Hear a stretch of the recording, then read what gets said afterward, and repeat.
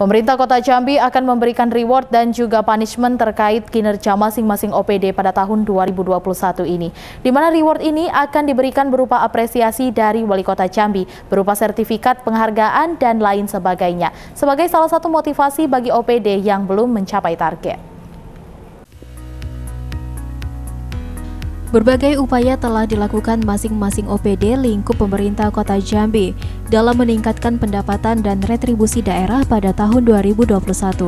Di mana meski dalam suasana pandemi COVID-19 di tahun ini, pendapatan dan retribusi daerah Kota Jambi mencapai 83 persen.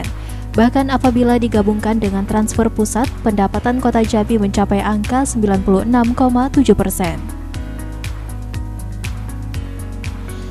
Terkait upaya yang telah dilakukan masing-masing OPD ini, Wakil Wali Kota Jambi Maulana menuturkan, pemerintah Kota Jambi juga akan memberikan reward dan punishment kepada OPD-OPD tersebut. Reward yang akan diberikan kepada OPD yang telah membantu pendapatan daerah ini nantinya berupa apresiasi dari Wali Kota Jambi, berupa sertifikat penghargaan dan lain sebagainya. Hal ini juga sebagai motivasi bagi OPD-OPD lain yang belum mencapai target.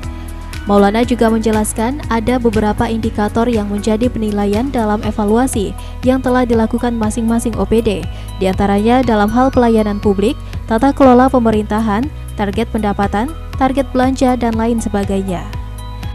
kan memberikan reward dan memberikan punishment. Rewardnya adalah uh, sesuai regulasi ada berkaitan dengan pajak kepada mereka-mereka itu ada aturannya. Tetapi di sisi yang lain juga reward dalam bentuk apresiasi yaitu piagam atau penghargaan yang diberikan oleh Bapak Wali Kota kepada OPD-OPD yang sudah melakukan kinerja baik dalam meningkatkan potensi-potensi pendapatan.